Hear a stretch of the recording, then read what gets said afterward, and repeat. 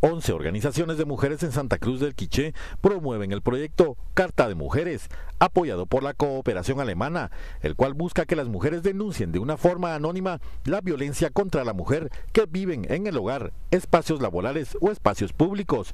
Esta puede ser depositada en buzones que serán colocados en diferentes partes de Santa Cruz del Quiché. Que es una forma de romper el silencio, es una forma de denuncia social para hacer visible esas historias reales de, violencia que las mujeres eh, puedan estar viviendo.